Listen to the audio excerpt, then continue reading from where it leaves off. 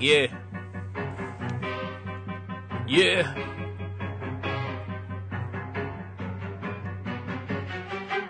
Guess who came back with a large fucking fist to eat the Brooklyn blast furnace? I brought your ugly bitch with me. Your shit is sus. Ain't nobody trying to hear you talk. When Jimmy's on the mic, they take your whack shit and turn it off. It's real life, not them stories that you punks say. He made it out alive, and he's relatively unscathed. So subscribe to the podcast and share the post and tell your stupid friends to do the same. You heard it here from Coast.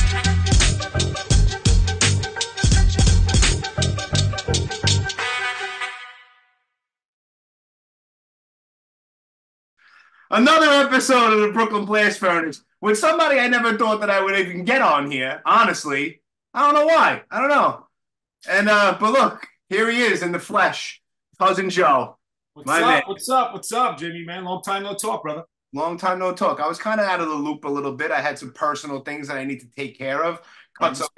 Cut some cancer out of my life and situate, get some, get some things in order, and uh, God bless. you know, re- re- You look resol- good. re- resolve nonsensical little stupid issues. And uh, yeah, I'm back to some degree. good. You look good.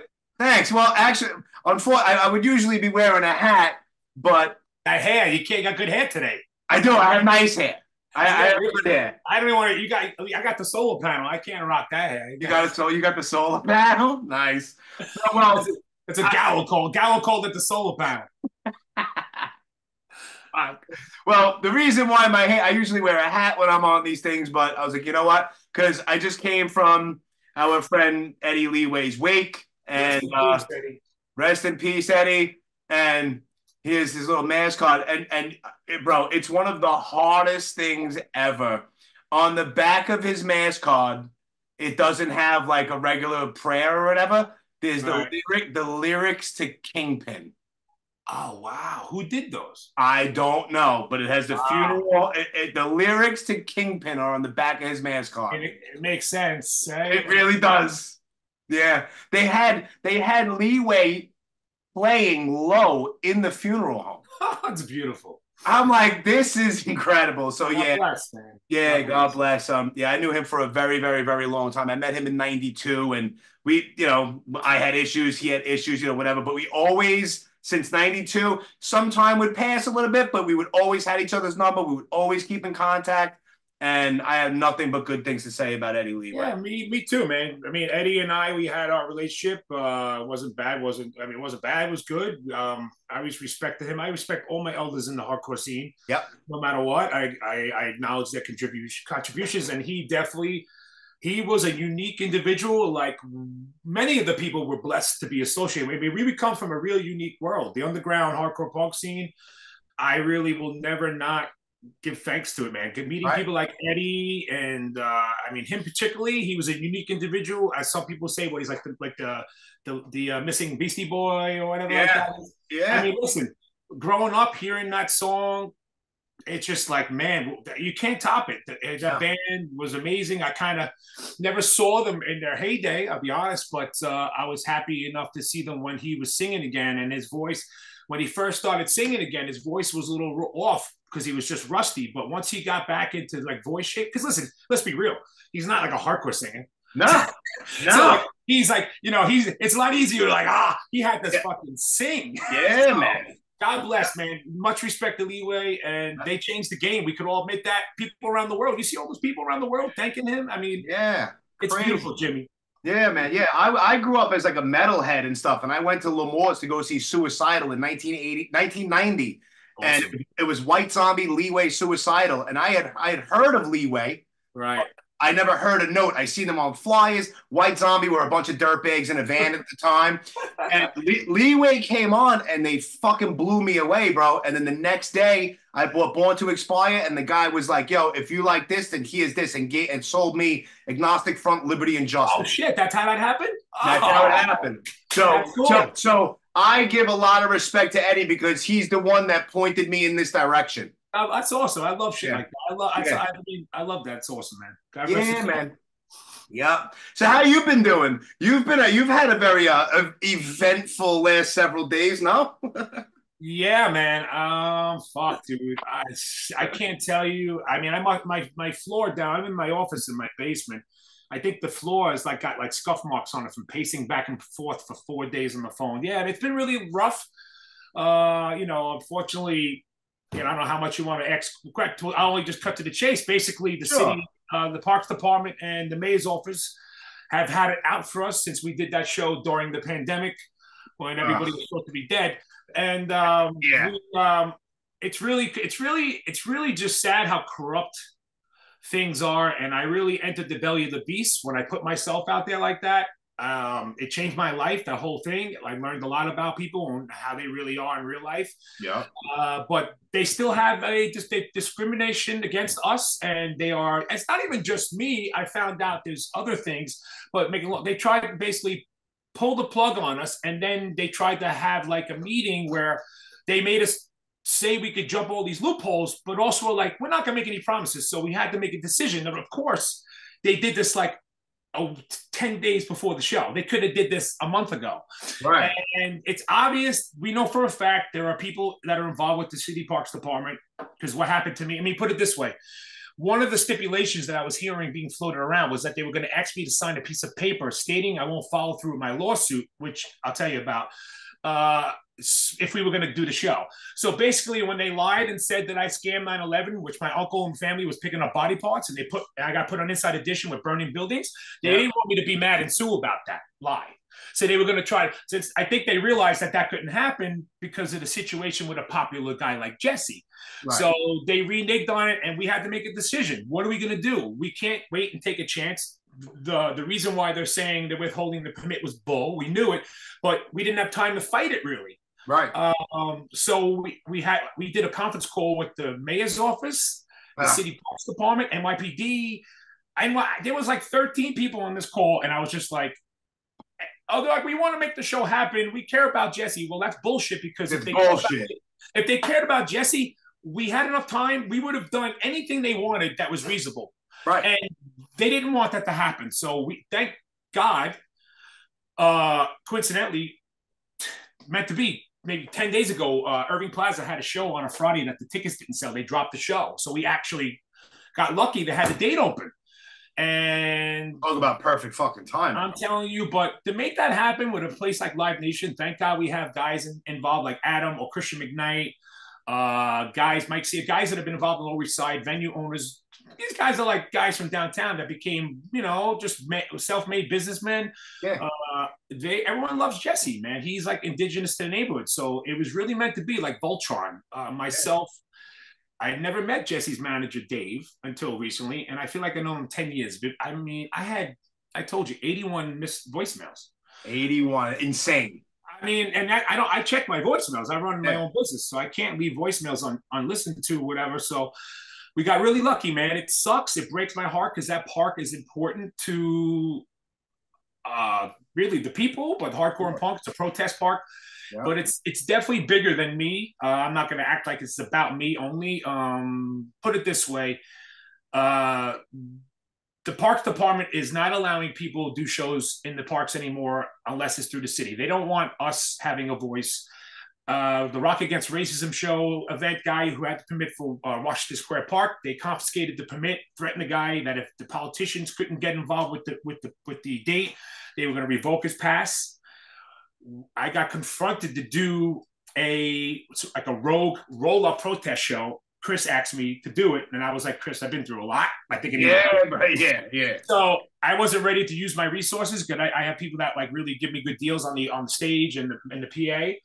And he went on his own. He was like, let me try to apply for a permit with the Parks Department for for Washington Square Park. So he applied for a permit. They told him all the they told him all the dates in May were, were taken. Now, so he filed a FOIA request, which is the Freedom of Information request. Right come to find that no dates were taken in May. They were lying. So this is this is this is what we're up against. We're up against. Uh, uh, we pay these people. Yeah. The park, like especially Tompkins, watch it. It's a, protest park. They're supposed yeah. to be ours. We pay these people, and they are they lie to us. Yeah. where we have to file a paperwork that an attorney has to take responsibility for. And if the attorney doesn't tell us the truth, he could lose his, his law practice license. Right. So the guy had to tell her, the lady, whoever in the parks department, this lady, I think it's this lady. I won't mention her name. I don't want to get do that yet. Right. Yeah. You don't need He, to. she, he told her that we have to get. So they got the date. So they were able to lie. So we're dealing with people that will lie, cheat, and are discriminating against people that they don't like. For what? You yeah, know? for what? I was gonna say, like, what the fuck? Like, you can't have like a public gathering. You're paying your permits, but they want to jerk everybody off. Like, I don't understand the fucking. you had to hear the conversation on on the um, conference call. Of course, I'm not like talking because I want to let the let the attorney talk and only Sure. answer Yeah, yeah, yeah. questions. And these people that they hire, they're just really clueless because they were acting as if there was never been a show in Tompkins Square Park where there was more than 200 people. I'm like, there's 300 migrants in the park right now. Yeah, So- right now. So, so I'm, just, I'm like, you know, and listen, we've done the show since 2018. Jimmy, we never had one 911 call. Right. We never had anyone get hot, hurt. The, the, the- we clean up the park. Listen, anyone who's been to that show, they know what it's about. Community love. It's probably one of the most authentic, diverse New York shows to date, events that happen. Sure. So the, the fact that they could lie and say, "Oh, we really care about Jesse," no, you don't, because No. if you wanted to, they could have. They have the ability to uh, expedite sure. anything they want. They can do Whatever- whatever the fuck they want to do. They just Whatever we, whatever we wanted to do to make it happen for Jesse, we would have. But they wanted to make us wait till today to have a conversation, to tell us maybe Thursday. Really? Like, two so, days before. yeah, I'm telling you. So it was. It's sad. It's frustrating. The park. They've been messing with us. Last year we had the park date. I announced the show. Chris gets these dates for months. I announced the show was Black and Blue. Two days after they I announced it, someone must know it's me. He gets a call and they said, "Oh, sorry, we gave you the wrong date by accident." Uh, Like, yeah. Really? Yeah, so they because they, they, they got it out for you. They have a hard on for you because you were like basically fuck you during the fucking cold. Yeah, I feel it right here. Hold on, it's right there. Yeah, yeah, it's on your seat. It's Right, I'm trying to get in my ass. That's Right. right.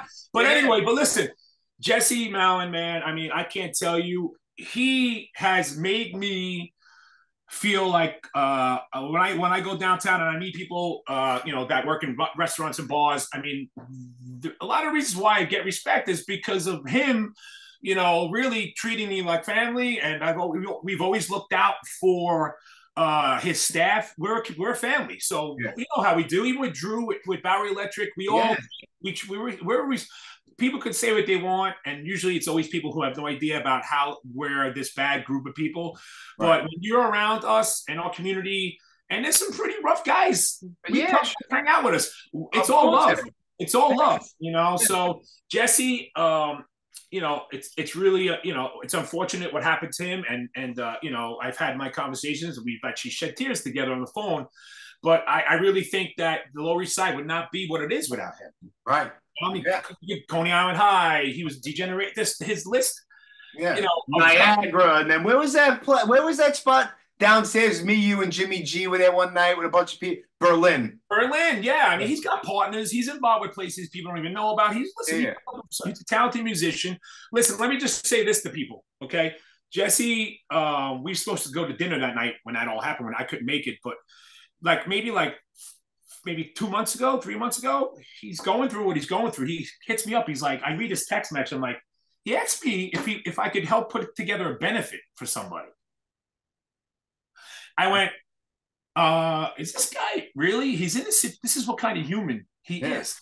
He's in a situation like he is, and he wants to help somebody else. Yeah. Yeah. So me and Jimmy, well, I called Jimmy. I got chills, and he, uh, we both called Jesse. And we're like, Jesse, we want to jump to the phone and choke you because, like, you mean? yeah. we're gonna we're gonna do a benefit, we're gonna do it for you. Come on. And he was obviously like, oh man, no. And of course, listen, he's that kind of guy, you know, Yeah. he's like, he'll help anybody.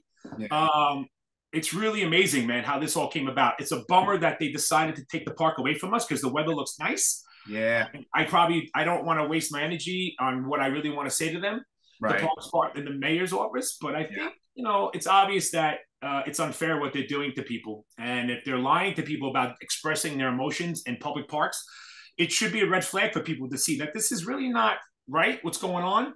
Um, they're trying. Think about parks and people getting permits. The energy, the community trying to voice that and putting their their their creativity into the neighborhood of New York City. It's like if that's happening, those days are over. You're you're part of it's you know not to get like that word scares people. It's like a tyrannical or or, or a very fucking crazy. It is. It so, is. I mean, how we're coming to a point where they're lying to people about getting permits. Yeah. And, and they're allowed. That's the crazy part. They're allowed to lie to you if you Yeah. file a, a FOIA request. Then they got to tell you the truth. Like, Right. really? That's what it's come to. So, but uh, this Friday night, listen, Irving Plaza. I can't tell you, Eugene from Go, Go Bordello, Freddie Madball, Jimmy, um, the Capturers, everyone, Warmonger, War War War Orphan is. Well, is and, they- and then you, and you, you you added another one, crazy in the brains. Well, so that was something because listen, everyone scrambled to try to make it work. Eugene had something planned at the old Brownies slash Hi Fi slash Coney Island Baby slash it's called Heaven Can Wait. Right. Uh, he had an event. He had a, he had an event there, and I think his girl was playing and another band. So I guess he was he felt bad. He's like, hey, if we could have them play. So our incentive was like, yeah, put your girl on stage at Irving Plaza. Why not? So.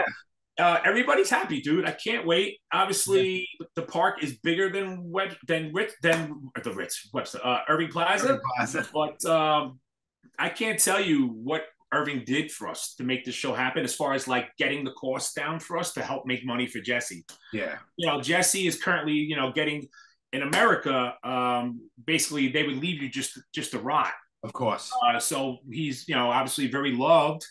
Uh, friends of his have relocated him to an area I don't want to say, but where Right. he's getting therapy at least a couple of days a week, and Right. I think he's I think he's getting his own stem cell treatment, which to me is awesome because that's something that I hear good things about. You Yeah. know, and Yeah. uh, I mean Jesse is so helpful. I, I don't see this being the last benefit for him. I think that you're going to see a string of bigger events Okay. because he deserves it. So it's been a lot. It's Good. been a lot, dude. Yeah. So Yeah. Well, it, it, it's crazy how I mean it's awesome how everything fell into place like that. You know, what are the chances that that that a show, you know, the day before the park show had to get canceled at Irving Plaza? there's That's a date available. Oh, come on, Yeah. you know, I was like, uh, Yeah. in, in April and and uh, on a Friday, I was like, I, yeah, it, was, it was meant to be. yeah, hundred percent. So, Yeah, so people can come Sat uh, Friday six o'clock. There's little things that go on like.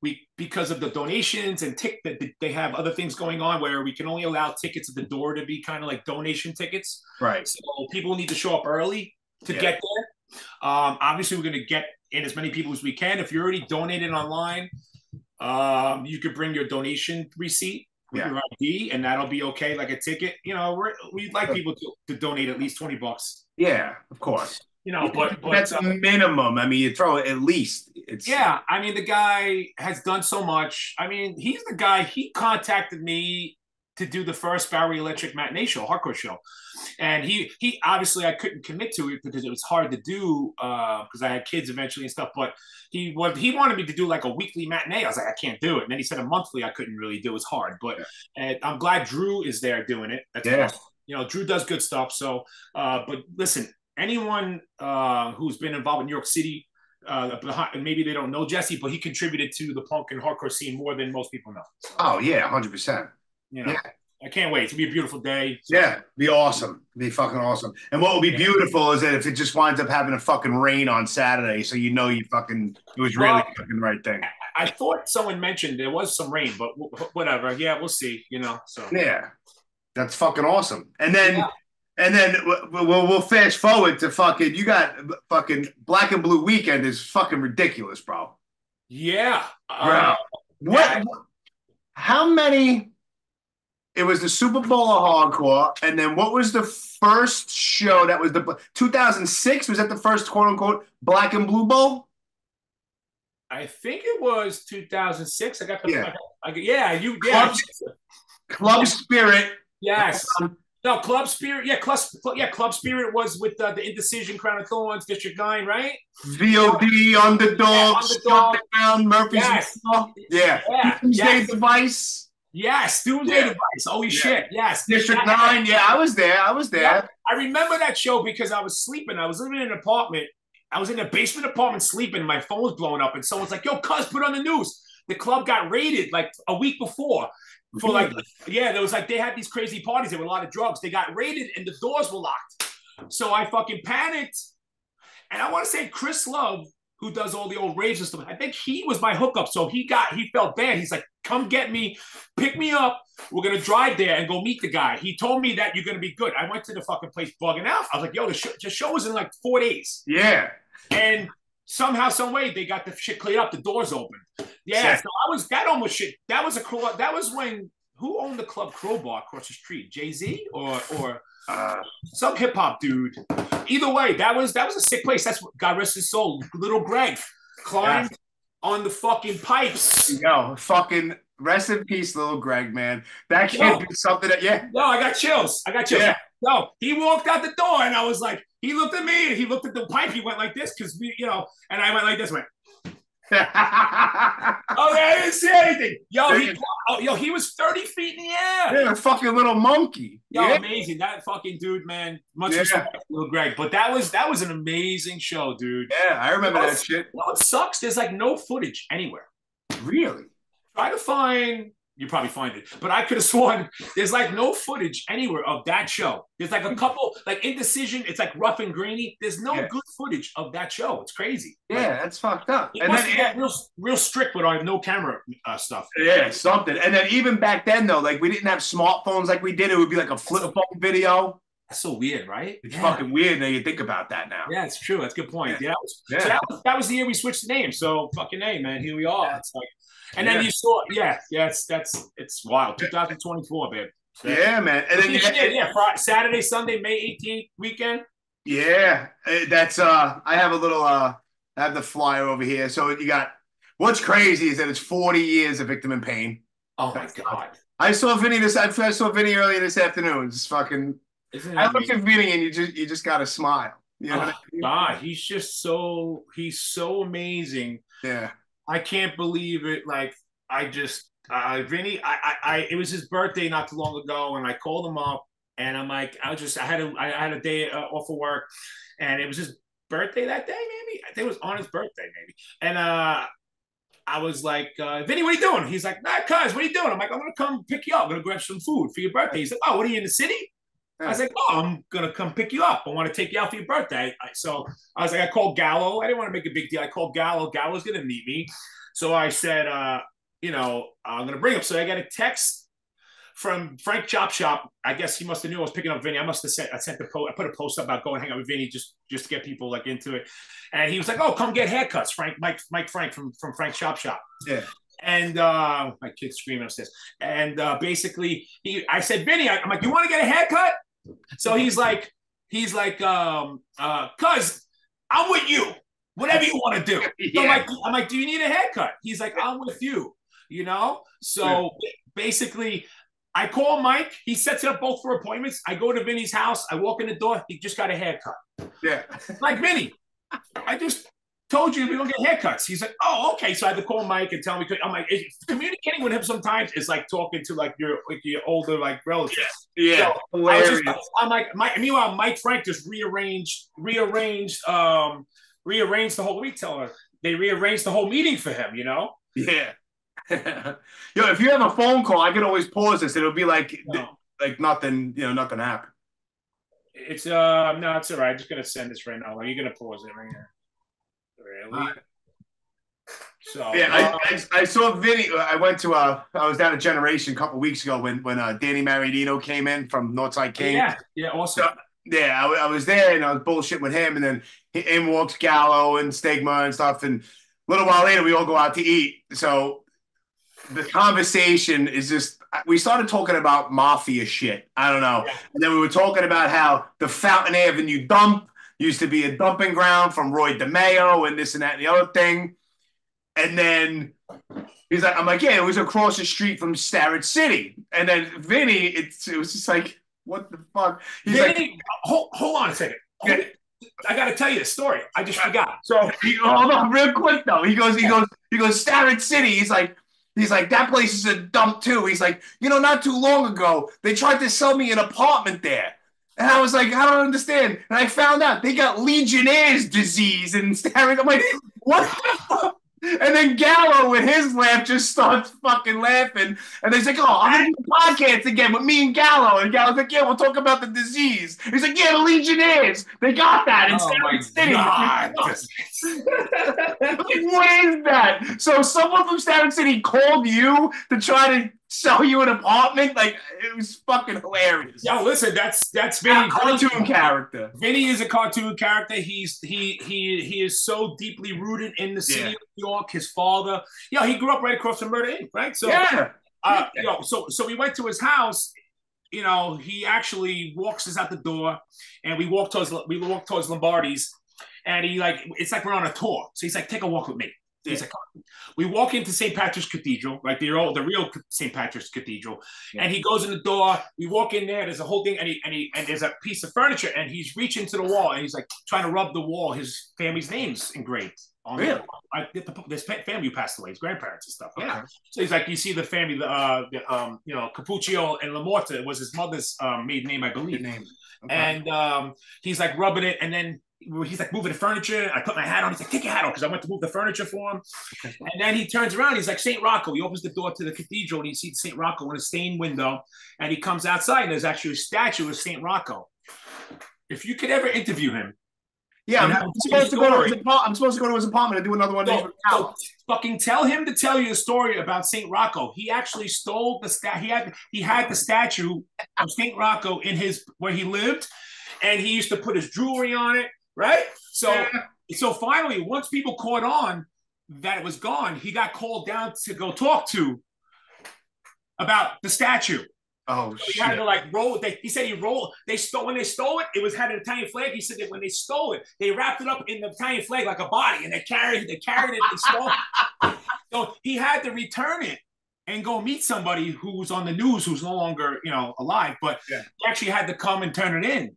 Yeah, had to have a little conversation. Old school story. He was a young kid. Then he told us a story about. He's like, stand right here. So me and Gallo Slick, he was standing on the sidewalk. He tells a story to, to some people sometimes. I, other people have heard this, I'm sure. Yeah. And he said, see that window right now is in first grade. He's like, JFK got killed. He's like, I'll never forget it. He's like, everyone was crying in the street. Like he's telling us the story Yeah, about like when John F. Kennedy got assassinated, yeah. and all, everybody was in the street crying like crazy. And he's like, I don't care. I got off of school tomorrow. no, he was just he was like reliving his life, and I recorded it on my phone without him knowing, just because, you know, Vinny, I love him, and some of the moments I have with him, I I, I don't have any memories just because you live it, but I feel like Yeah. something. Listen, listen. I'm not saying you know Vinny's getting older. I gotta like Sure. cherish these moments of Yes. things that happen. Um, I, I mean, like he's such a special individual. The, Yeah. the man is like he's such a such an amazing being, and God He forbid, really he's is. like, and he's not only an older brother to me, he's almost like an uncle to me. You know, yeah, Like, sure. you know, he's he's been there for me so many so many times. You know, I really think. uh uh, I don't know what I would do without him around. I, I hope he Yeah. does forever, man. I hope he does, you know. And I can't wait to see him at the show. You know, I mean, God, listen, how many years? 40 years? 40 years of victim in pain. It's insane.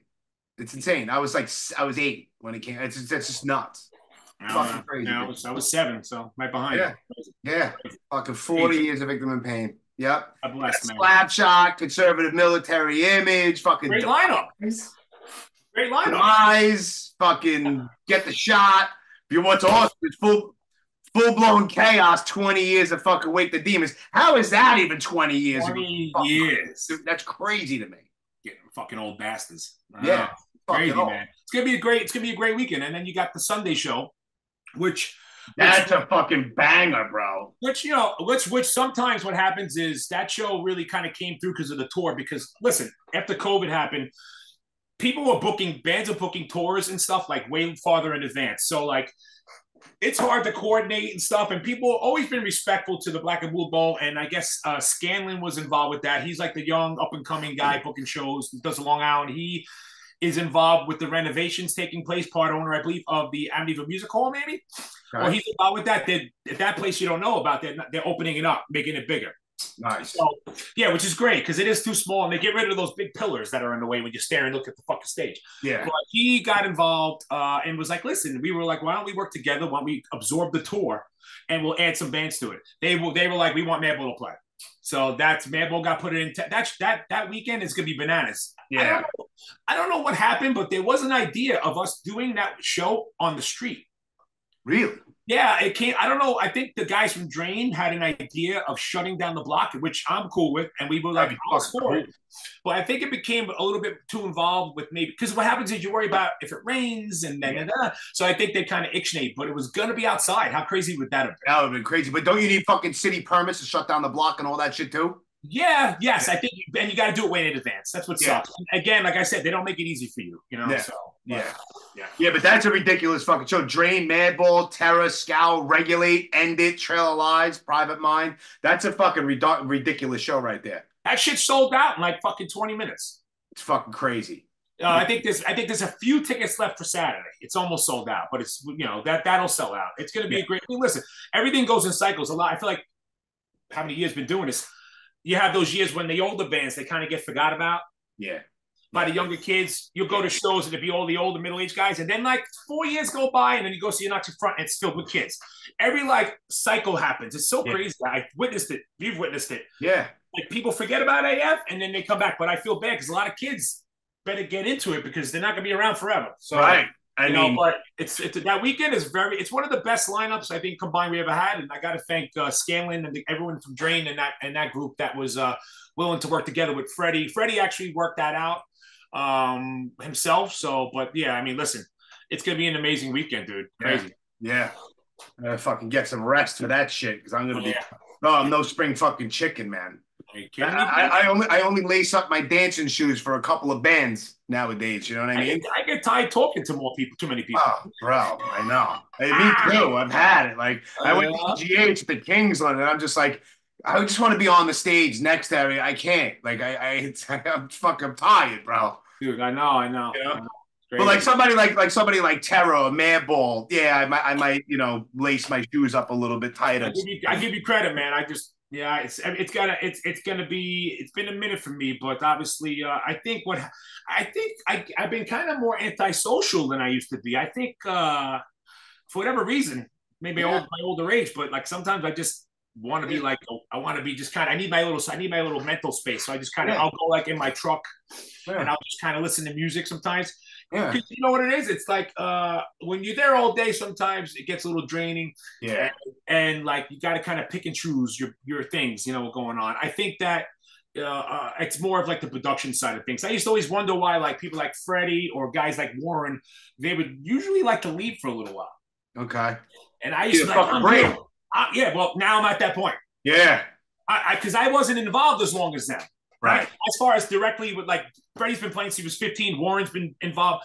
I, you know, I, you know, they they were involved in the, the actual building of the events and the shows contributing early. So I'm, so finally I hit that point where like, ah, now I know why they take a break and they go away for like two three hours. These fucking Yeah. guys. Yeah, I mean, you know, most band members today, if you're even young kids now, they'll like leave Yeah. to kind of chill. You know. Yeah. Come back, bro. Yeah, man. It's a long fucking day. It's a Yeah. long day. I know whose idea was they booking these shows with 16 bands? Fucking damn it, Jesus. I don't know. well, you're a maniac. I mean, how many fucking weekends Judge headline, and which was insane. Webster Hall two weekends in a row, fucking million band. Crazy. Bro. Yeah, man. That really, it's really crazy how time's flying and all these events we're doing. It's just, it's really cool, man. And I'm happy that it's still going. It's and what's cool, there's really some really good young bands out, which is, Yeah.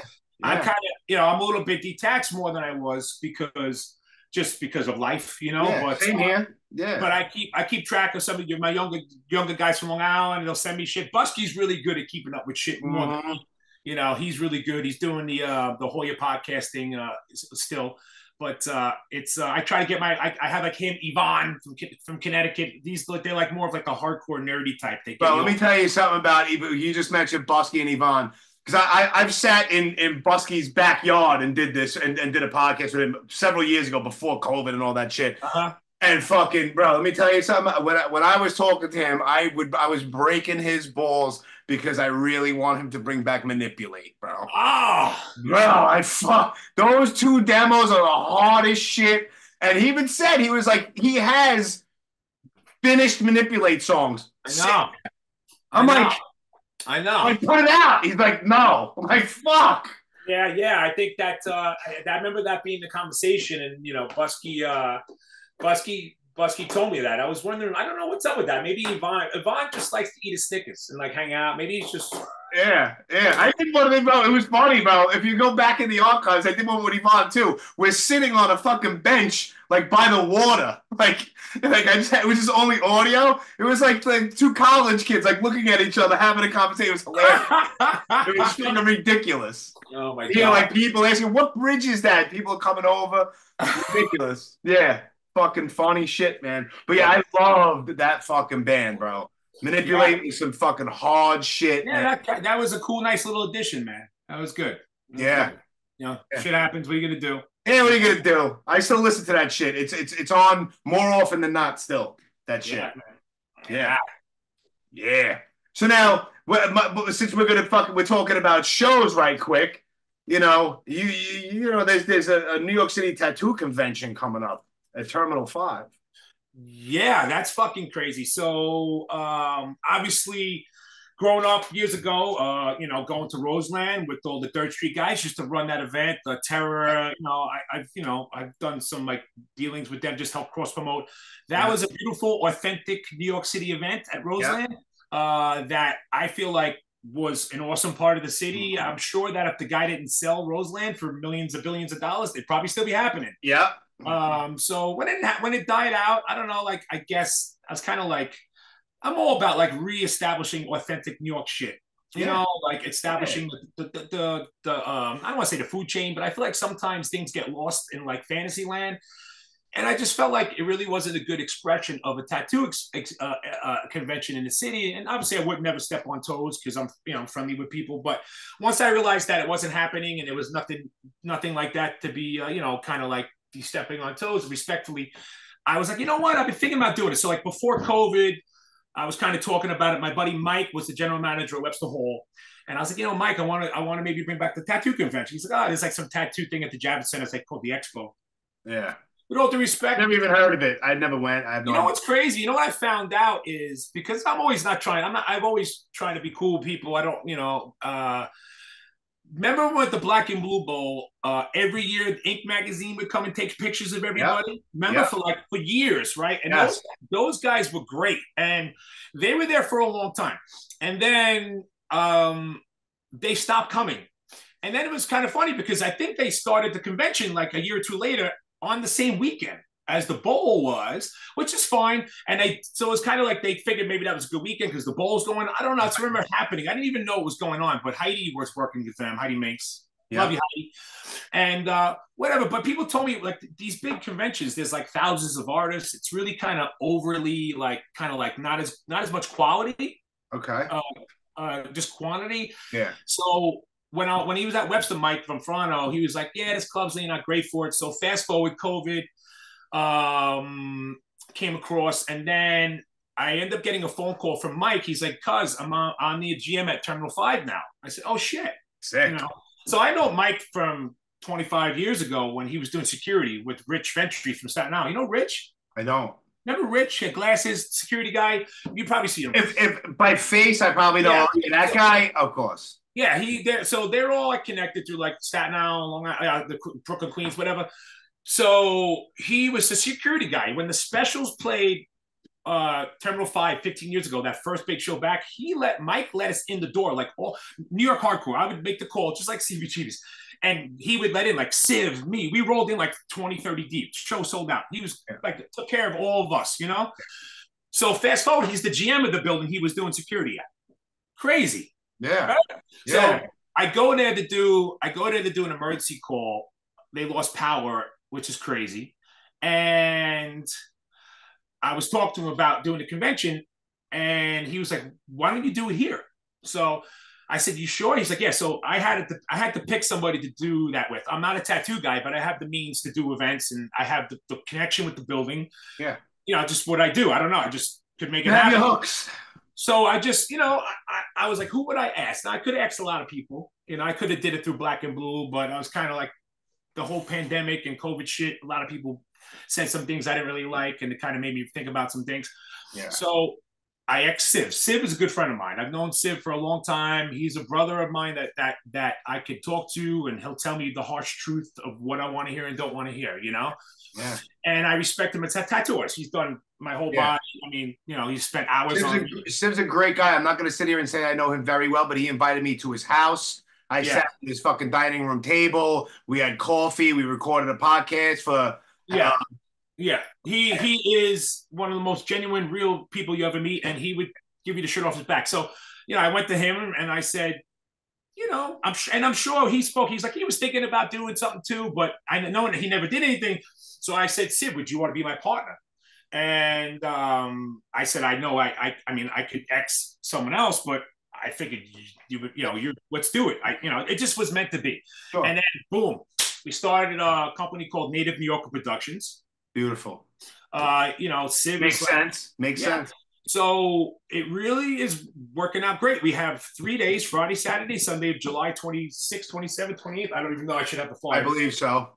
Yeah. Yeah.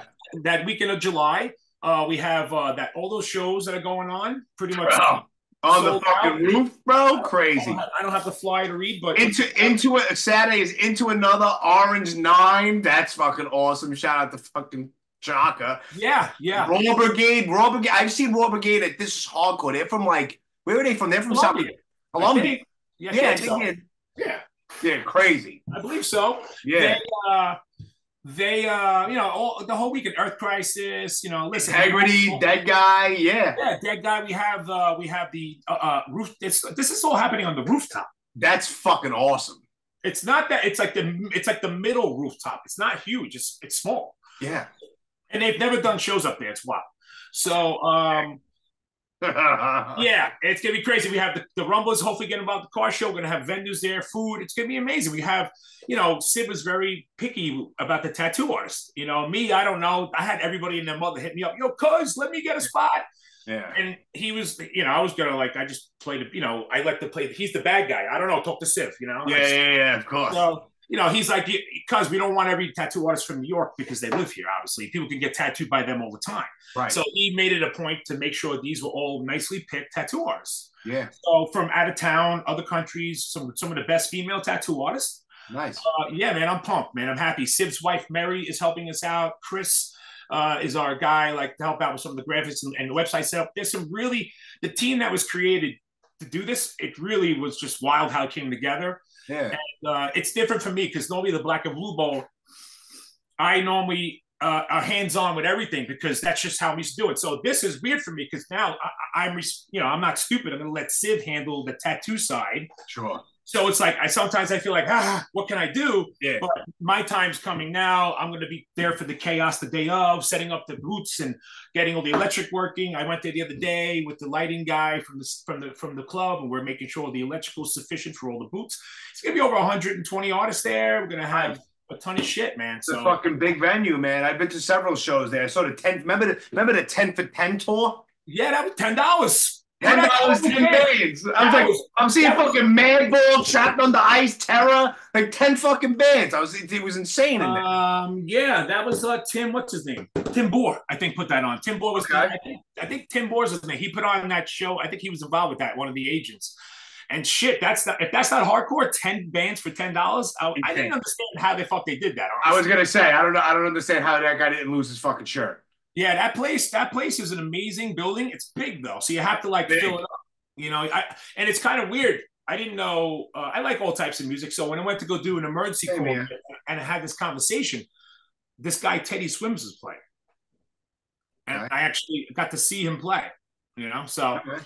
I don't know if you know who he is, but the guy is like huge, huge now. He sings like he's like you know just some big singer. He's like a a white guy with tattoos on his face out of nowhere, but he's got he's got a really great voice, and he's like he comes from he's a real dude when you when, when you watch him play. He came out on stage and he flipped the shoes off, played in the socks. nice. yeah, I was like, what is this guy hooking his toes on the PA? I was like, this guy's feeling like he's into it. Yeah, yeah.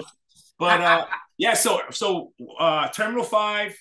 Um, I think that I should know the idea is NYC Tat uh, Tat Tat.con convention. Uh, you can find the um the IG. All that, all I'm gonna put all those links in the description on there. Okay, cool. Yeah, I'll put all that. Shit. Yeah, it's and, and you know we had this is the first people like oh it's not the first ever tattoo convention. It's the first annual tattoo and arts convention. Right. Not, and actually we we couldn't use that anyway because those guys they copyrighted that name. Gotcha. The New York City Tattoo Convention is actually, I think, copyrighted by them. Right. So we, you know, obviously, uh, you got to respect the copyright. So, Yeah. but it's also it's different. It's a it's a tattoo and arts convention. So Right. I went to uh I went up to Hudson Valley for the tattoo convention that they had there, and uh it was kind of weird because I don't know I'm handing flyers out, and then like I fo- I forgot like there's a lot of people there that probably applied that couldn't get in. So I was handing out the flyers, and they're like, "Yeah, I applied, but I didn't hear back." I'm like. Yeah. but but it's ex, it's ex, there's some big tattoo artists in New York that aren't even going because they just right. They just won't. Like like, Yeah, like what you said, you can get tattooed tomorrow by them. yeah. So it's gonna be amazing, man. It's, and we're gonna do it every year. So you know. Yeah. Mhm. Yeah, man. So what about um what what's what, what's going on with uh East Village Radio? You bringing that back? What's the story? Before we even get into that, I want to thank you because I years ago I started booking little shows at Lucky 13. And I let you know. I think I even asked you, like, if it's cool, like if I do it, you were like, yeah. And then you were like, come on the show. And I was on the show and I read it all off. So like Mhm. you didn't have to do that, but I just want to thank you for that. You gave me like the blessing to do that. Yeah, yeah. Jimmy, let me get a drink. Hold on a second. Go get a drink. Take your time. Hold on a second. I gotta get a get a seltzer. A nice seltzer. Well, I can just throw this out there to support Generation Records. Follow them at Generation Records on Instagram, located at 210 Thompson Street in the West Village. Um, they're the sponsor of the Brooklyn Blast Brothers podcast. Shout out to Ron Grimaldi and Mark. And uh, yeah, they've been around since 1992. So if you're in the area, go there and buy a couple of Two Tree records. But uh, Generation Records is uh, it's a it's a West Village staple at this point. They do great shit.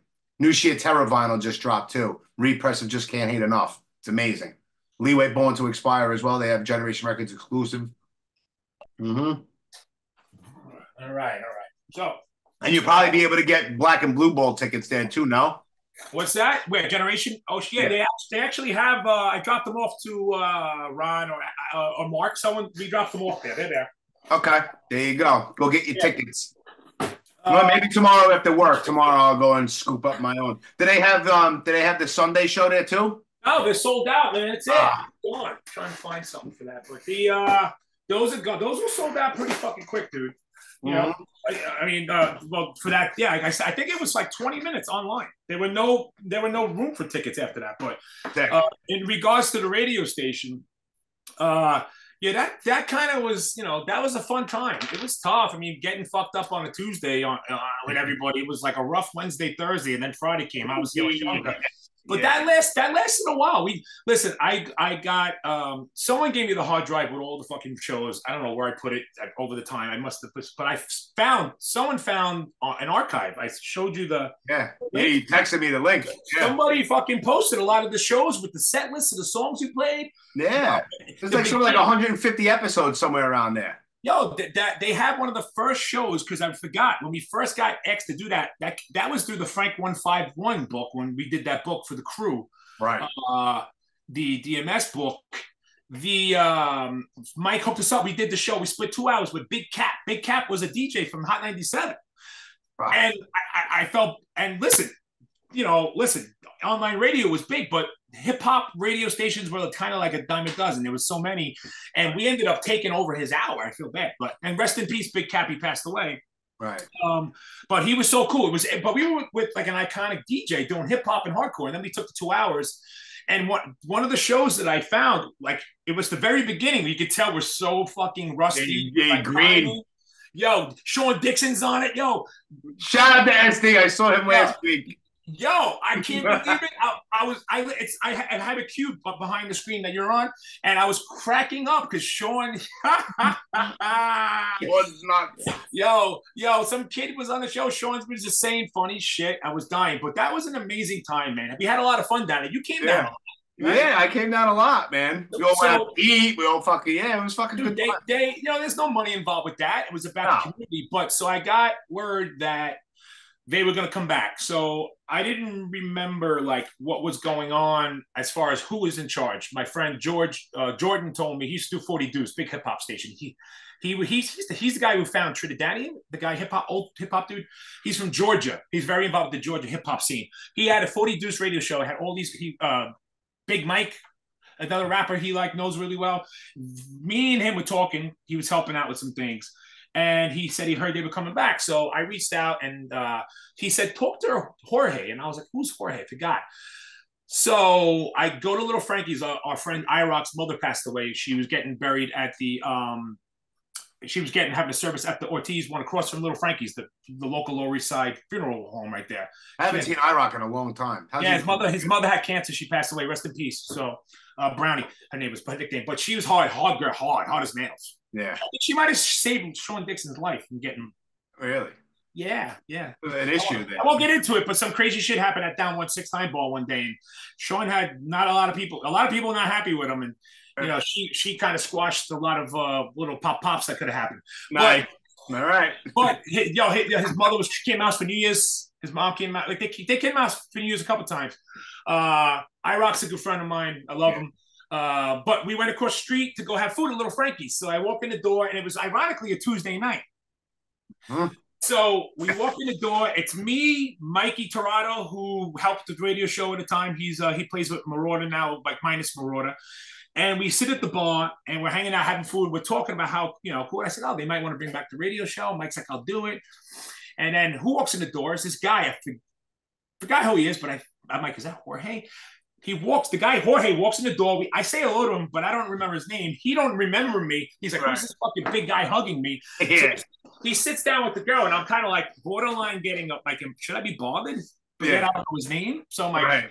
so all of a sudden he goes, you're like, cuz, wow, cuz. So we hug. and I'm like, yo, I heard you did a radio show. He goes, yeah, you coming back? And then boom. So it was like, just like, here we are back at He's like, we they got a guy set it up. They want us to do Thursday night, six to eight o'clock. So we'll see. I don't know if I could do it full time. It's just tough, you know, these days. But I would definitely let Jimmy do it more. Yeah, I would be there, and I, I, my goal is this: is that is to get young kids involved. You know, like the younger guys, like because I feel like there comes a time where you kind of have to kind of pass the torch and like, yeah. you know, uh, you know, because it's it's really what people did to me.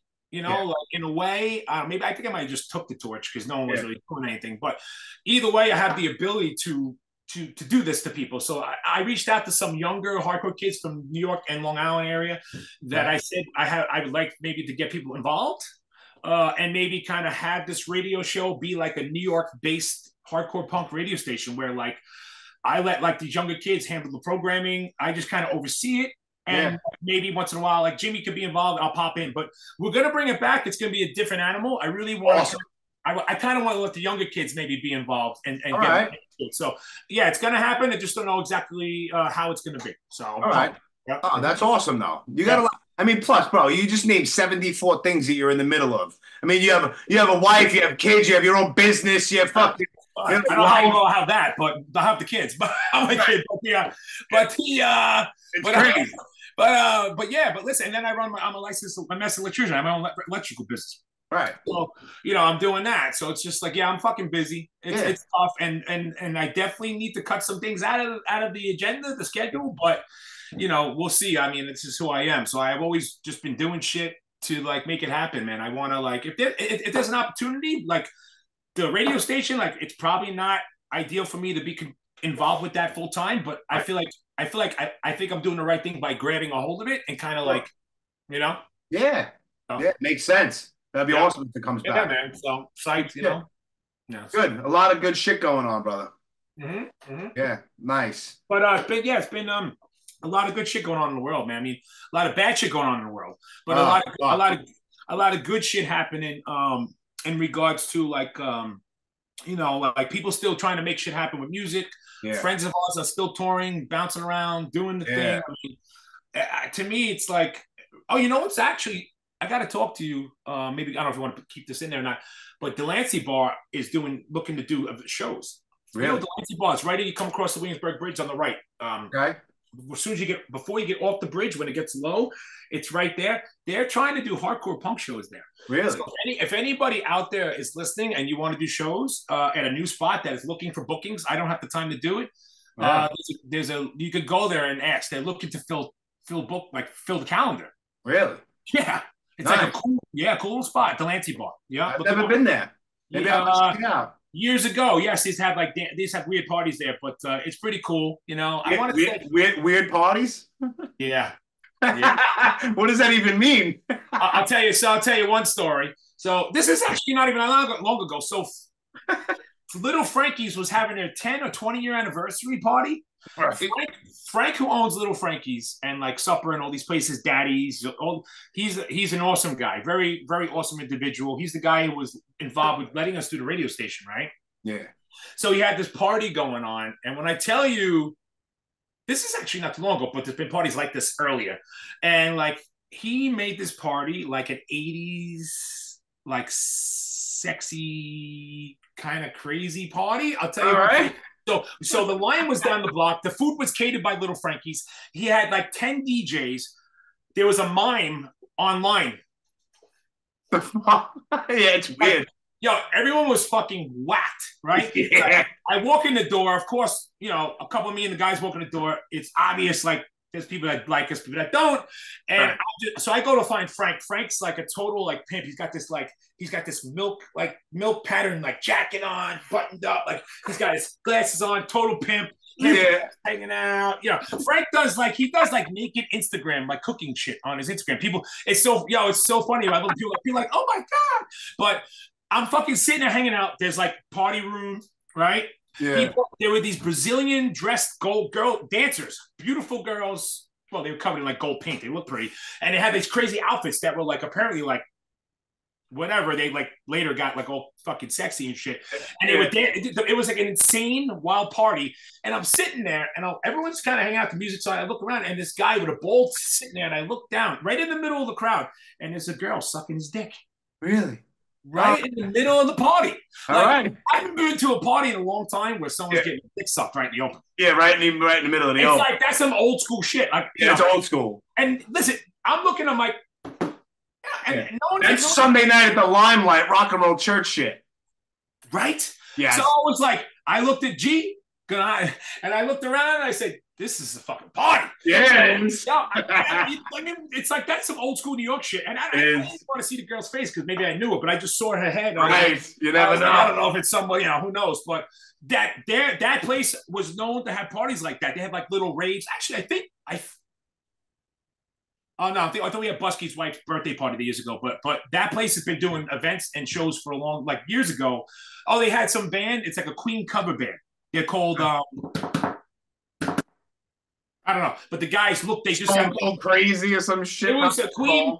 One of the song. One of the songs was the name of the band Of course. yo, the party was insane, man. But that place, if you if anyone wants to book shows, uh, I've been getting emails from this random girl, Joe Rubino from fucking Ice Cold Killers, actually. Nice. Information to, to her, her, information.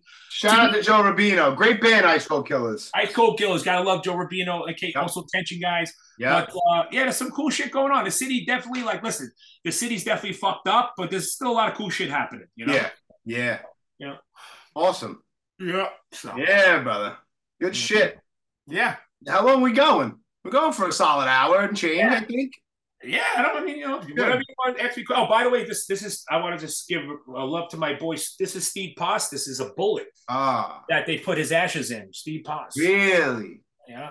I don't know if you can read that. Yeah, no, I can see. I can see it. Yeah.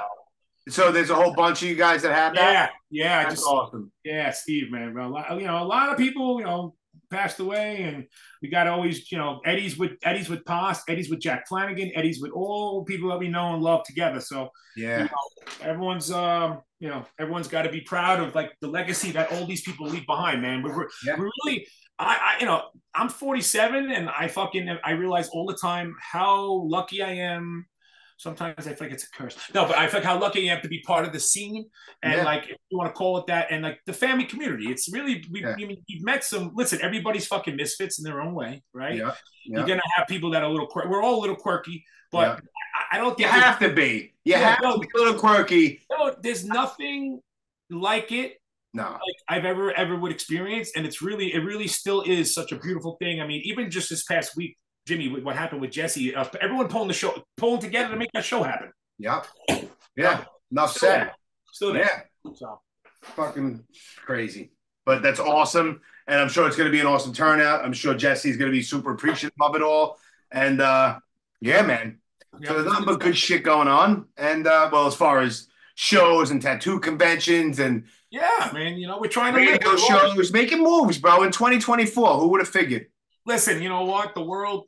Let's not be. Let's not. Let's not be, be in, in den- denial. The world has definitely become like a fucking very, very deceitful place more than ever out in the open. Yeah. but, but uh, when if anybody gets down and and gets depressed and like you're like kind of feeling like kind of bummed out, you got to try to figure out a way to fucking make it positive because that's what people that um, are trying to take advantage of of the little guy. They Yeah. don't give a fuck about you being upset and sad and depressed.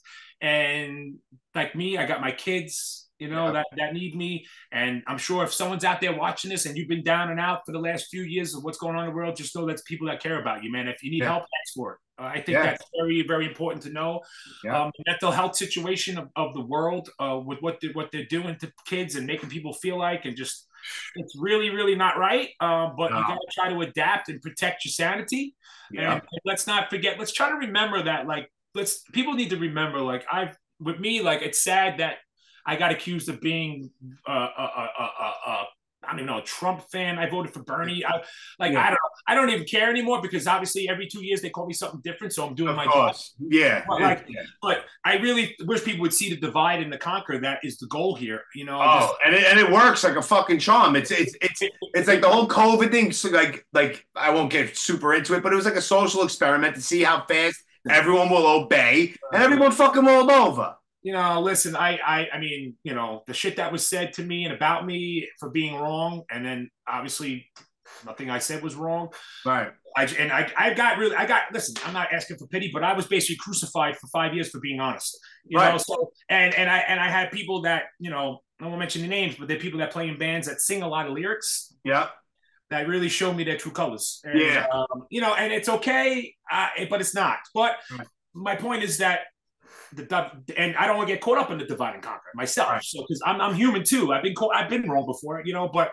I think we all need to kind of remember, like, they don't give a fuck about any of us. No No. matter what like the, the party you feel like we're all getting fucked Yeah. every day of our Yeah. lives. Yeah. And at this point, we should really be sticking together with something because we're not getting any help from anybody. Whether- No. No. Whatever, whatever party you want to affiliate yourself with, Yeah. The world, like these fucking people do not care about any of us. None of us. You know, and, and with and, and I've been, you know, one thing about me with the whole park thing is that I don't know, I kind of been in the belly of the beast since that. So like I've Yeah. seen the true evil on a smaller level of Sure. but more than most the common man of what it's like and it's fucking taxing Yeah. I'm sure. I'm it's very sure. taxing it, it takes a lot out of you because you learn how really fucked up shit is Yeah. and how people that you think are like a certain way are not when push comes to shove Yeah. you learn how people really feel and what they'll do right Yeah. so Yeah. but don't lose faith and fucking let's try to props, props to you for fucking to doing what you're doing, bro. Because you, I mean, I mean, Yeah, without I mean, you, yeah. honestly, without you, I'm not sitting here blowing you, but it's like without you, a lot of shit wouldn't fucking happen because you got a pair of fucking balls and you do it and you say it and you're unapologetic about it. And Yeah, I don't think- that, that's far and few between. You know, like, like that shit doesn't happen no more. Everybody is. yeah you know, well the thing is when you say well, something bad about Biden, you're, auto- you're automatically a Trump guy. well, it's so weird because Jimmy, whatever, I, I, I, I, I yell at, I yell about everybody. I don't. Yeah, I know. You know, I know. I got- see got- all your shit. I got I got the I got I got blocked by family for bashing Trump, and you know, and then I got one year I'm Antifa, the next year I'm a fucking Nazi. I'm like, really? I'm like, meanwhile, I'm the one actually. I'm probably the only guy who beat up actual Nazis in the park. But Right. you know, but the point is, it's just like, you know, uh, the the my, people like that come out and want to talk shit, and the ones who are the loudest, like. First of all, online is poison. You know, social Oh, media- the fucking worst. I, I mean, like my kids, like ain't happening. Video games, like limited. Like Mhm. I'm not playing that game. I see what it does to people, and nine out of ten times, the people who talk shit the most are like the biggest loser Yeah. hypocrites in the Yeah. world. uh, and they haven't they haven't probably done half the shit people in the world that I've done with my pinky. Right. And, and listen, all all I've all I all people that know me, you know, I could come across a little abrasive, but like my intentions are all in good good taste. Like I, I just care about everybody, you know. Uh, obviously, but to me, it's important even for myself uh, to try to not get caught up in the divide and conquer. I've always right. been, you know, I've gone to people's houses, customers' houses of mine, and had heart to hearts about the world, strangers. Yeah. And actually been hugged like yeah. people. Like it's like I run my life with uh, nothing but being honest. You know what I'm saying? So I really feel like people like uh, you who are upfront, me, if people are out there trying to tell you to shut up, yeah. Ever in oh, your I've life, been told to shut up so many fucking. Anyone times. ever tells you to shut up and keep your yeah. mouth shut? Yeah. You might want to stay away from them. Yeah, 100%. You know? So, yeah, they're not, they're not really your friend. So, right. But that's that. But yeah, so I think it's important that we all realize that the point of, of this whole chaotic kind of confusion fucking you know uh, situation of the world it's meant to fucking make us uh, uh, confused. Of course. And, and, just you know try to try to always still be there for each other you know? And just com- listen communicating in person is the thing to me. I've learned about that's why social media i think is is the worst thing because right. if i text you too much we could take it out i take it wrong right? 100% there's there's no there's no inflection. There's no context. you take right. it out of context. So when i see someone in person we talk and it's over. So I had Jimmy Gestapo, Jimmy G. Sorry, I can't say that. Jimmy Jimmy G gave me. Uh, oh. he gave me. A, you know what? He gave me a tip, and I've been trying to do it with anybody, family, relationships, work. He's like, "Cuz, once we text more than three times, you got to call." Yeah. Yeah. But it's the same thing because it's even worse when you're like communicating to humans online you don't know. Everyone just goes crazy. So I think that uh, you know, kind of be a little more understanding that the online stuff is not as serious as when you meet people in person. That's all. Right. And, you know, I think we all need to kind of remember that divide and conquer is the focus, and we got to try to fight, fight, that from happening. Yep. Yeah. But, Beautiful thing. It's true. Yeah, man. So good shit. You got enough sodas around there? I got. I'm a seltzer man. You like my dark side shirt? I do. I, I, noticed it as soon as you came on. I'm a big fan. Shout out to Richie Darkside. Richie. Yeah. Richie. Oh man, I I I love Richie and oh man, I just have flashbacks to hanging out with him on Sean's you know Sean's neighborhood as a kid and just him just being crazy. He writes me some crazy text messages. He's a very smart guy. Richie, okay. Richie, Richie is a Richie's a fucking genius. Richie, you're a fucking genius. Right? I was driving down the conduit one day, right, coming home, and uh, from like working in Brooklyn, I took the van. I take the conduit because I can't take you know the Parkway, and I come to a light, and I'm like, I'm a, I'm a heavy driver, and I fucking come, and some guy's walking in front of my truck, and he goes, "It's Matt." Oh fuck! He's like, "Cuz!" I'm like, "Ah!" Like, yo, it's, yo, it's so crazy. I was like, "No way!" Yeah, that shit happens. It's, it happens all the time. Then I ran into, yeah, I always run into people, man. All the Long Island. I'll be working in Long Island or at the Sean Everyday Dollars. That's a band. Yeah. Do you know? Do you do you know that there's songs that they put out that they didn't tell anybody? Really? No, I didn't know that. Go to iTunes. Okay. And it's uh, something supply, not supply and demand. Um, go to go to go to fucking iTunes. All right. Check this fucking song out. You might have heard it, but Sean told me that, that they they have songs that even like announced everyday. Dollars. They just drew it up there, just as like whatever. Oh, dude. Everyday, everyday dollars. Let me see, because you have to look if you don't know. It's called uh, everyday dollars. Where is it? Everyday dollars. What the fuck? Everyday dollars. Library. Here it is. Uh, everyday dollars. Let's see. Boom, boom. It's called. Yeah, the Age of Demand. All right. Yeah, check it out. Uh, yeah, one of the one of the great one of the best songs on there is fucking uh, List of Demands. All right. Yeah, check that out. Yo, so there's some song that people never heard. I sent it to a couple of younger hardcore kids, I, to Austin, who plays with a conservative military image, yeah. and Very Very Dreams, that other band. I think I sent it to him. He's like, "Yo, what is this?" He's like, "Is this new?" I was like, "Yo, it's old. it's old." Like, yeah, that, that was a that was a that was a fun time. Shows at Manitoba's. Yeah. You know? I mean, it's crazy. There's so much talent out there, man. I'll never, I'll never like really, I never really like. It's it never stops to amaze me. Like Felipe from the Captures. Yeah.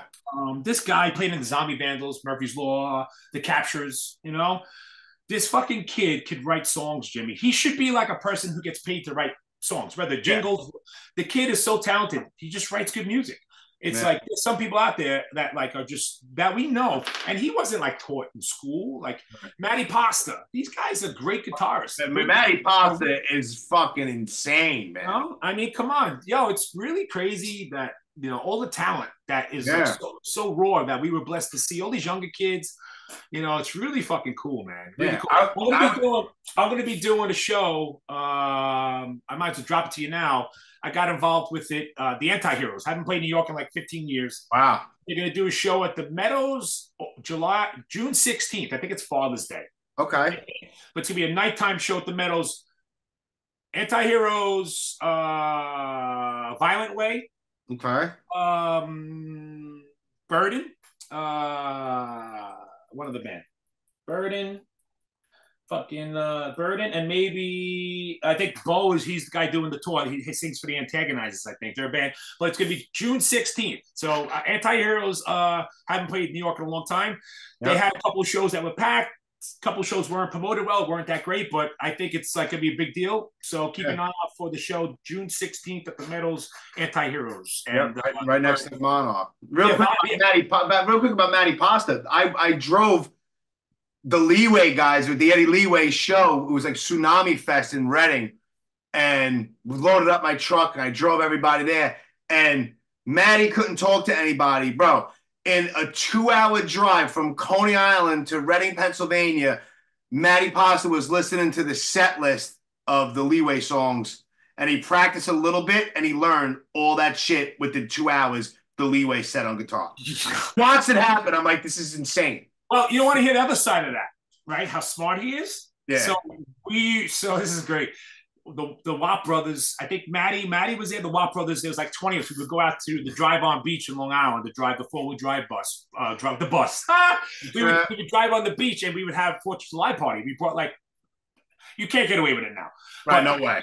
So Jersey guys, Donnie Demon, I think was in town. Uh, we all went going there. We would like bonfires. So they have fireworks. So they spend like no joke, 45 minutes laying out all the fireworks. Matty Pasta's fucking whatever out there, right? Yeah. So all of a we're all waiting, right? So they light the fucking they light the fucking fireworks. They light it backwards. They do the finale. First, boom, boom, boom, boom, boom, boom. Everyone's like, yo, and it goes down to the back. Yo, like they lit the whole shit backwards. They were That's so awesome. Everyone was so fucking zooted and fucked yeah. up doing fireworks in the beach. Yeah, of course. Oh my god, nice. I'm like, yo, he's like, we lit it backwards. I'm like, what? How do you do that? how do you do oh, that? Oh, Matty Pasta, man. So funny times, dude. Funny yeah, times. man. Yeah, fucking shit. But uh, shit, bro. But listen, yeah. listen. I, I, appreciate when I asked you. I was like, I didn't know if you were gonna say, "Nah, I'm busy" or whatever. But I appreciate you coming on here, man. Seriously. Well, yeah. I mean, listen. I, yeah, I'm fucking. This was a crazy week. The only reason why I couldn't do it last night was because I know.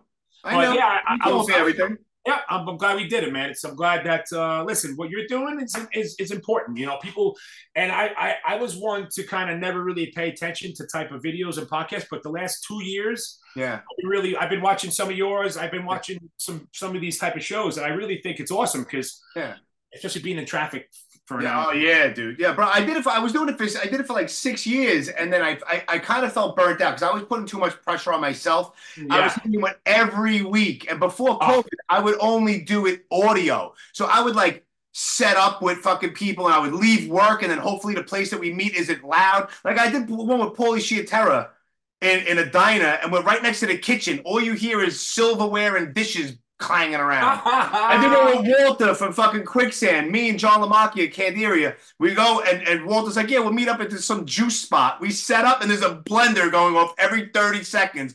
But we he would pick a fucking juice. A juice spot, of course. But I did it for like six years, and then I just I just got burnt out a little bit. And then I was like, you know what? So I put an end to it. And in the moment when I did the last episode, I I I felt like I was done. And then like two years later, I'm like, you know what? You know, it's also because I, bro, I I'm a fucking idiot, but I just wrote a book, dude. It's not even about what? Me. What book? About you? What? Oh, you did? What's it? Really? Oh yeah. shit. Yeah, it's, right. it's with the editor right now. My editor is a friend of. It's my friend's father-in-law. I had no idea. His name is Patrick Labruto. Is the is the editor. He edited the stand, the, the stand and Pet Sematary. He edited. He edited Dean Koontz books, like legit, dude. So I just it's gonna get cut down like crazy. But I wrote seven hundred and fifty two fucking pages. Really? Wow. So you, I guess that's that's pretty interesting. Is there a title yet or no? Relatively unscathed. It's pretty cool. Relatively, because no one ever said I was normal. But you know. no, no, really? yeah, no fucking figure. But oh, yeah, I need like a subtitle, like I don't know, Life and Times of a fucking Brooklyn jerk off or something. Cool. But I need like something like that. But yeah, man, it was just because I, I put out if you go back in the archive, it's not on video, but it's it's it's episodes 49 and 51. For some weird reason, I just I was doing it in my phone. I just basically everything good, bad, tragic, fucked up, everything. I just spilled everything. And people, wow. dude, that should be a fucking movie. That should be a fucking book. Blah blah blah. And I was like, yeah, great. Because then I was like, next episode is episode 50 was like with the sick of it all guys at the studio. I'm like, ah, yeah, whatever. And then people hit me up. They're like, yo, I want to know more about this, this, this, and this. So I put out episode 51, which is Jimmy Ferrari Life and Times Part Two. And then, no joke, a little bit over a year ago, I woke up like the second thought in my head. I was like, you know what? I think I'm gonna write a book. Coming from somebody who used to have his sister do fucking my book homework. Yeah. Crazy. So, but it took me one year and one one year and one week to write the whole thing. Yo, that's dope. Congratulations, man. I'm looking forward to checking it out. yeah, know. man. Yeah. There's like a little group on Facebook and shit, you know, whatever. But but it's it's it's in the it goes through five different phases of editing and shit. So it's gonna be a little bit, but everything that's done legit takes a little bit of time. So when is that when is that gonna come out, you think? You uh hopefully within the, uh, would be nice if it came out within a year. Awesome, man. Good to know. Yeah. We're gonna shop, we're gonna shop it to publishers and shit. Like, you know, like I could talk to fucking Howie. You know, I could, you know, yeah, Vinny book is coming out, The Most Interesting Man Alive. Oh my God, yo, did you did you catch any wind of this country record? Of course I did. I was I was I was in fuck I was in Generation, and he's like, oh, you know, he asked me for Chris Bridge Nine's number. I'm like, yeah, I have his number. So I I'm like, how do you not have his number? AF has been on Bridge Nine how many different times? So I was like, yeah, here's his number. He's like, oh, maybe Chris will put it out for me. And he's like, here. And he's like, here, take my phone. He's like, push the button, sounds come out. I was like, so, so I'm like, of course they do. No, I'm walking around Generation listening to the Vinny Stigma country album. And you know what's awesome? It's fucking awesome, dude. Yeah. It's yeah. That's, awesome. that's, uh, you know, that, I, listen, you know, our, I'm sure I mean, I, we I wouldn't expect someone like you who's around like this world to be normal, and I'm sure like there's a lot of shit in that book that people don't know. No, that that you probably needed to get out. Yeah, bro, I'm lucky to be alive, dude. So, so I don't even know if you want to tell me now. It's probably a lot, but like, can you tell me a little bit about like one thing that happened? I know, like, maybe I don't know. Sure.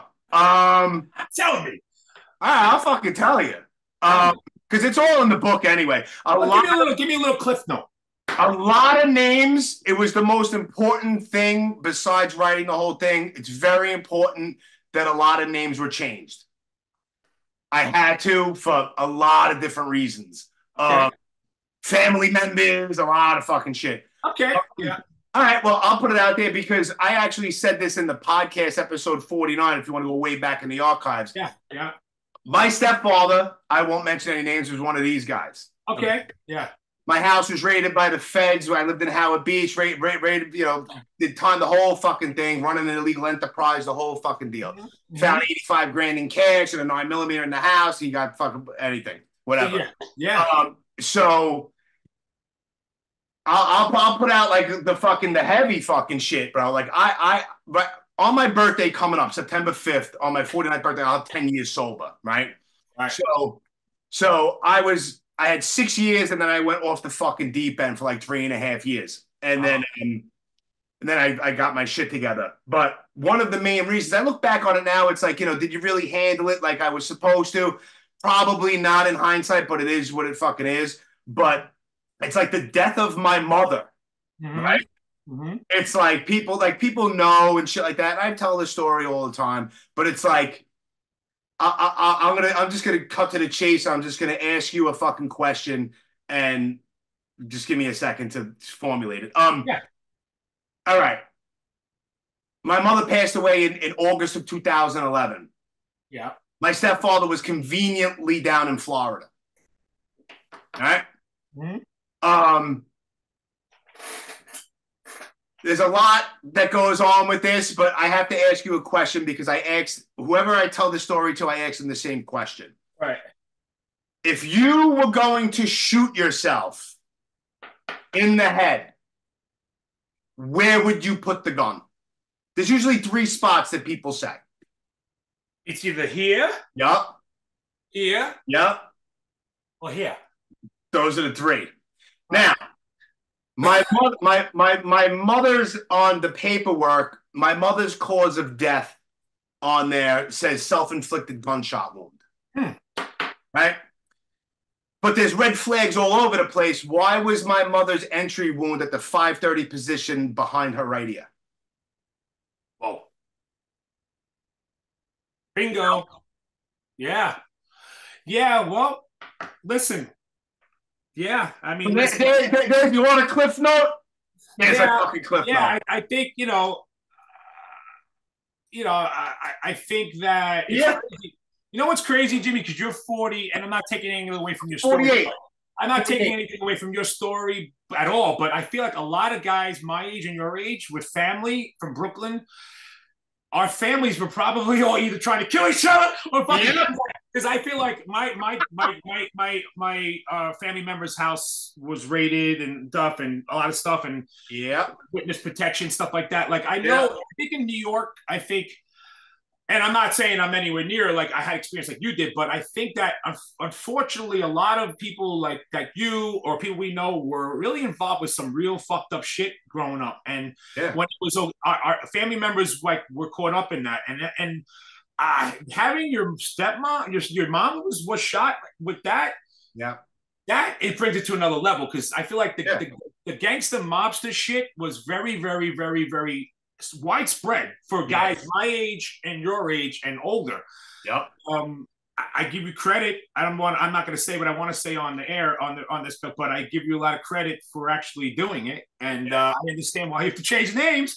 But yeah. oh yeah, yeah. You know, yeah. I, am sorry that you had to go through that. That's that's yeah. tough. That's yeah, tough man. Yeah. because that's that's something that would not resonate too good with me. And listen, man. I think I think a lot of our our our our, our baggage and the shit that fucks our heads up is the shit that we live through and we think we're okay. Yeah. You know? Yeah. We think we're okay with it, you know, sure. and we're not. So I credit you for actually trying to tackle that. Much respect to you, bro. I Thank do. you, man. Yeah, and, I mean, I, I, I, I, can't actually. I look. I look forward to checking the book out. You know. Yeah, I appreciate that. So, I mean, it'll when, when it comes out. Hopefully, a publishing company will, will will put it out. If not, then I'll go through an independent or I'll self publish it, whatever it is. But you know, it is what it is. And, and it's just crazy that when I put that last fucking period on that last sentence, 752 pages later, I was just like, I can't fucking believe that I just did that. Mm, like I used yeah. to have my sister do my book reports in fucking elementary school. I just wrote a book. It's not, it doesn't even make sense to me. Yeah, I, I no. really, uh, you know, I, I think that uh, what you do, what you, what you're doing is fucking is is actually uh, very, very important. You know, yeah. so I can't wait to check it out, man. I hope that uh, hope that everything comes out as smooth as you want. Yeah, you know, me too. I'll show you a copy when I get them. I'll show you a copy. I'll show you fucking two, three copies. Hey, take my teeth. I was yeah. listen, I, I, I think uh, hey maybe at one of the maybe the tattoo convention next year you can come come over there and do something with it. You know. Hey, listen, give me the green light. I'm there. I'm easy, yeah. bro you want to come in this year, you're good. Don't worry about it. I appreciate it. I'm easy. I don't like to step on no toes. I try not to bother anybody, and I try to just fucking. Yeah, you're good, bro. You're good, bro. You're good. All right. Well, good. Awesome. Glad to hear it. And uh, yeah, this was fucking cool, bro. I never had a long conversation like this with you. Like, like, yeah, at the you know, down at EVR, a few minutes here and there, but well, I never sit still that long. I know. Yeah, neither do I. Neither do I. That's why I actually like doing this shit. Like I spoke to a lot of people that as a little kid, 14 years old, 15 years old, looked up to. It's like I was, you know, me and Howie Abrams and like Lou Sick of It All were bullshitting for three hours today. It's like I used to look up to Lou Sick of It All. Now it's like, hey, what's going on, Lou? How you doing? Like, you know what I mean? It's just well, it's that's that's what's that's what's great about this thing is that we yeah. become friends with like you know people that maybe we kind of like looked at as like our, like our our our focus of our out and then be, and you know that's the thing about hardcore and punk is that they're just like us right we're yeah. all just trying to live our lives and and get by and much respect to old sick and old guys i mean even yeah. though you know uh listen what these guys bands like that if you think about it nobody. There'll never be bands like that again. There'll be Never. no signals. There'll be no Agnostic Fronts. There'll be no Madballs. There'll be no these bands that come out. They won't last seven, eight years. You know, a, a very few will be able to stand the test of time. Yeah. Um, mm, that's crazy. Yeah, it's crazy. it's like who do you got? It's like yeah, you got Agnostic Front, you got Mad Bull, you got Sick of It All, you have Terror still going. You know what I mean? Like, know, but there's only a there's only kind of like a handful, pretty much, that are And and it's really wild, man. I mean, there's a lot of good bands, but how many really last? right. Yeah. One of my favorites, like Wisdom in Chains. Like I want that. I want you know, like fuck. I love that fucking band. Shout No, that band is one of my favorite bands. I remember when I first heard chasing the dragon. I was Yeah. like, I talked to Richie a lot. You know, Yeah. I'm into I'm into pizza text. Not that I even fucking really talk about pizza, but like Mitz, Armand from Sick with All. Yeah, he was there today. Yeah. Oh yeah, yeah. So John you know, was there. it's it, you know listen one thing was amazing was that when i when i did the park show um i had to ask bands to play and there was you know two bands that asked to play that they didn't want to play until they were vaccinated but wh- whatever i mean it's fine but then i asked Wisdom in Chains to play and they were like yo we'll do it and then just seeing Joe on stage, there's a picture of Joe on stage, that one, but it's like just the crowd in Tompkins Square Park. Yeah, yeah. I swear to God, if that if Joe if he doesn't have if John he doesn't have that framed in his house, I'd be surprised. Yeah. I mean, that shit was so amazing, dude. I, I really think like those guys, and they came out and and it was just a beautiful. Those, I have much respect for those guys for that reason. Richie's a very Richie's a, Richie's a very smart guy, and, and he- Richie is super smart and he's the biggest ball buster. Oh, I know. Yo, he- hilarious. He's fucking hilarious. he's he's he's good, man. I I, I gotta say, uh, you know, I went when he's he's an old school, genuine soul, man. Much Yeah. respect to all those guys. There's so many good people, so many good people everywhere. Yeah. we're really, we're really lucky to to have experienced what we are. That's all. Sure. you know? Yeah, man. Yeah, Cool.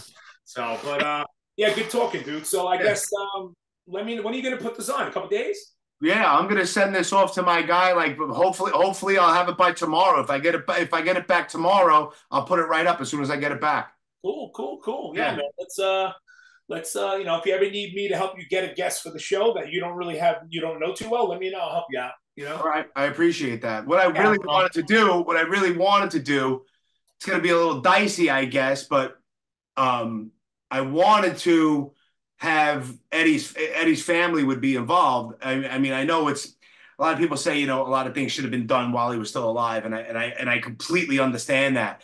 But what I was looking to do is throw a little something at like Lucky Thirteen, and Uh-huh.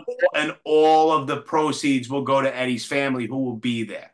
You know what I mean? Like I don't think I don't think that's uh I think I wouldn't it doesn't have to be insane. Like like for instance, like shout out to fucking Jimmy G. Like I did this, I did the veterans benefit. Murphy's Law played for nothing. You know what I mean? Like that was huge. You know, and the second veterans benefit, fucking Leeway played.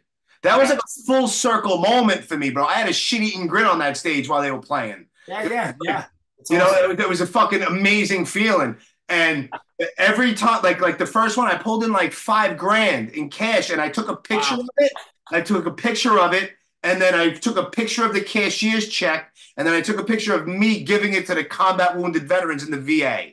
So it's all fucking transparent. So that's why I would like Eddie's sisters involved. Well, not involved, but there. So Right. whatever comes in the door, I'll have raffles, donation buckets, whatever, and just just try to help them out because regardless, you know, Eddie's gone, but yeah. it's still gonna get wrapped up with fucking bills and shit. Yeah, no, man. I think what you're doing, don't you know? I don't know, like what people's, you know, people could say a lot what they want. You know, what's funny? Old people that say things don't do anything. So just know that Right.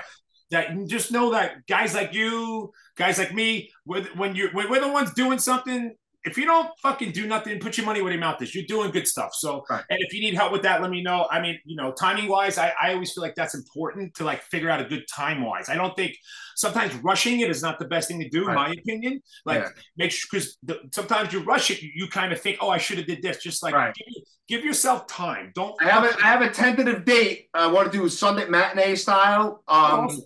um, June twenty third. Oh, that's good time. That's good Yeah, time. there's time, but it's also kind of weird because I know that for bands that, that that's festival season. Oh yeah. You know what I'm saying? That's summertime, Europe, and all that stuff. What's Try to find out. You know, send some text out. Just X. Yeah. Uh, Gallo, you're right. Gallo and the guys they start. They go on tour and they they leave in June to go like travel.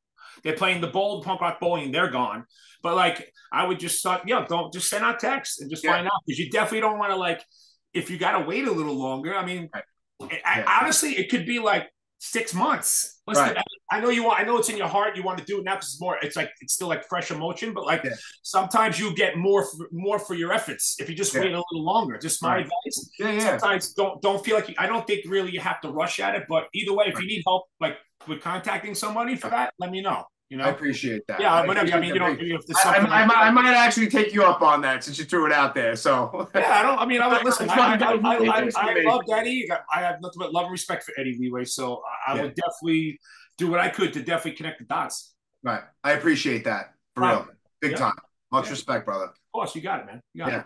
All right. Very All cool. On so, that, I won't hold you hostage anymore. But uh, this was awesome. I had no idea how long we were going to go, but this was fucking great, dude. Yeah, how long did we go? Um, I don't know, I don't know, hour and a half or some shit, a little more. Good man. If, yeah, if you want to do it again one day, you let me know. If something fresh is happening, you know. Bro, you have an open door, bro. You want you want to fucking talk about whatever, we'll do it. You maybe maybe maybe when we get close to the Tattoo convention or something like that, we'll do something. Hundred percent. I would right. love to. All right, awesome. All, All right, so let me know what's up, brother. Good talking to you. I will absolutely. You too. Be safe, All right, brother. All right, brother. Peace. Now, how do I get out of here? just, just, just press end or X out or some shit. All right, bro. Have a good night. I'll fucking talk to you later, brother. Support black and blue. You got it, baby. Later.